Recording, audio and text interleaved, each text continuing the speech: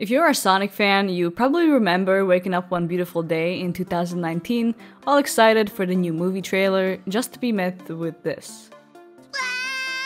So I thought I'd bring back some of those repressed memories of yours today and make Ugly Sonic a reality. I'll start by making an armature for his body with wire. I considered making a really cool Sonic sculpture at first, but then decided making the cursed version would be a lot more fun. And this way, I can ruin a bunch of people's day as well. The wire gets covered with Sculpey Bake & Bond that will help the clay stick to the armature. And then I'll start building up his body with Cosclay. Sonic's actual design is pretty human-like, but the proportions are still very cartoonish and unrealistic. For the movie version though, they really tried to make him look as human as possible for some reason. So I'm also going to make the body look like a very slim human.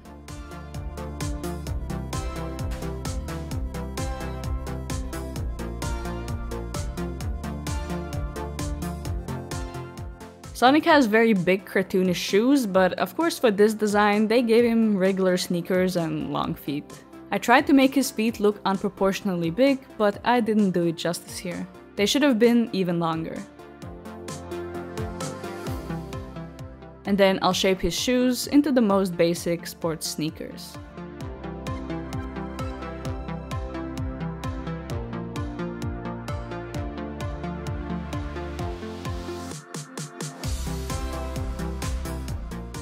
I rolled out a very thin piece of clay and added it on for the shoelaces.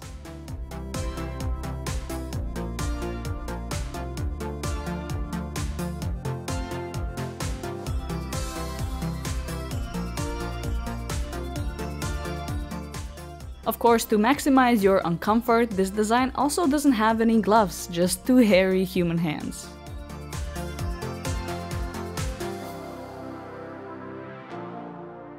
To make the fur texture, I'll go over the whole thing with a silicone tool. And at this point, it really does look like it might as well just be a human in a fursuit.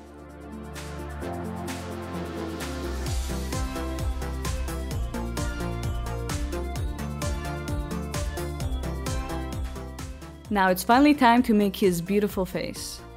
I'll start by attaching a big head and adding a few spikes to it.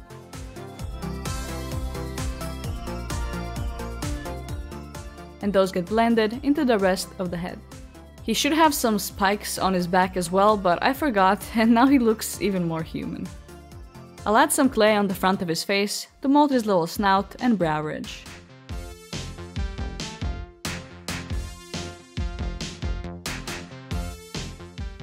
And add the worst design choice, which is these very small human-sized eyes. Funny thing is, I've been looking at this old design for so long while working on the sculpture that it has started to look normal to me.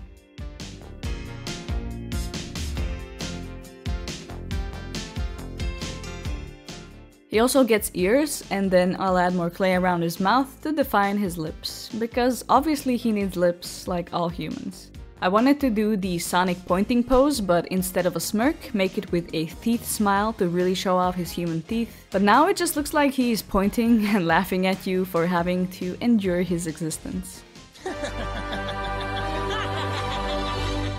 Lastly, his face also gets covered with fur texture. I think I made his face a bit too chubby, so he looks more youthful than he should, since we are actually going for the 40 year old local drunk Sonic and I'll go over everything with isopropyl alcohol to smooth out any imperfections. I went over his face many times, but nothing changed. Weird. After baking, I'll paint him all blue and then go over it with a lighter dry brush to bring out the fur texture.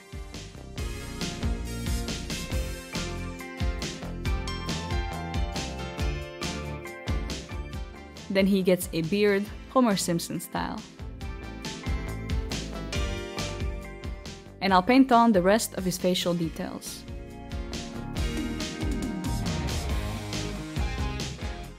I didn't like how the teeth turned out, and I got some blue paint on them, so I later actually cut them out and replaced them with a new set. I thought about making the teeth very dirty and gross, but then decided not to turn him into a total crackhead. And I covered his eyes with UV resin to make them nice and sparkly. For some reason, they also decided to make his snout beige, but his chest and arms white, which just makes it look like he actually has a beard. And the white is more grey as well, just making him look kind of dirty. Maybe they thought they could relate to us stinky gamers like this, like hey, I don't shower either. Then his sneakers get painted red, and I'll paint the shoelaces with a bit darker red color.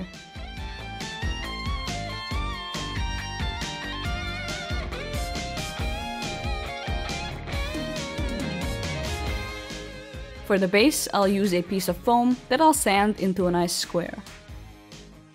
Then I'll map out some smaller squares on the side and cut them in.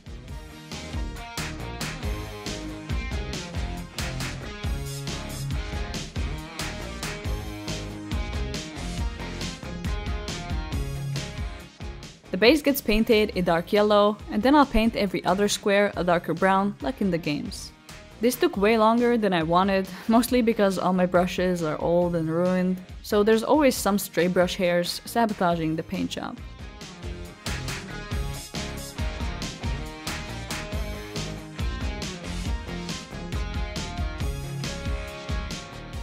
Then I'll cover the top with matte Mod Podge and sprinkle on fake grass.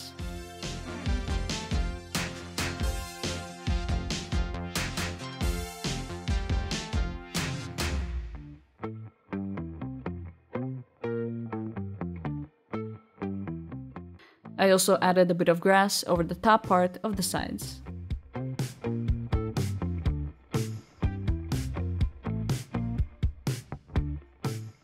Then Sonic gets hot glued in place.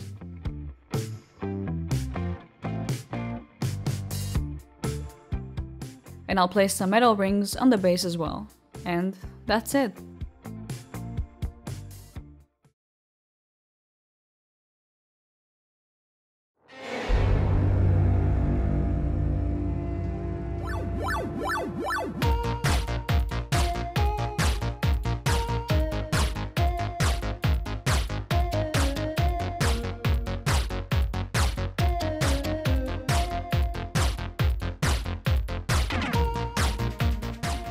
I'd like to thank these people over on Patreon who helped make this monstrosity into a reality, and thanks for watching. I'll see you next time. Bye!